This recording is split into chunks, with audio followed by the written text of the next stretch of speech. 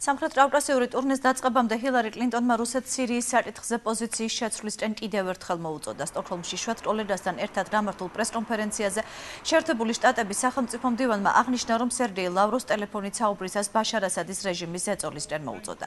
სტოკჰოლმიდან ჰილარი კლინტონი ერევანში გაემგზავრა.